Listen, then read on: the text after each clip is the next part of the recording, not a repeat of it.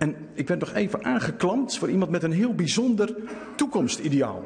Een meisje uh, me aan en zei: Dat jongetje daar uit mijn klas, die wil later u worden. Nou, dat was wel heel eervol. Ik, uh, ik, ik verdiep mij de laatste tijd steeds meer in de Bijbel.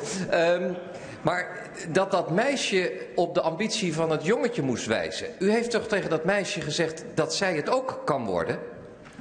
Nee, voorzitter, ik eh, ben niet gewend om mij zo paternalistisch op te stellen om meisjes voor te schrijven wat ze moeten willen. Ik vind dat ze dat heel goed zelf kunnen.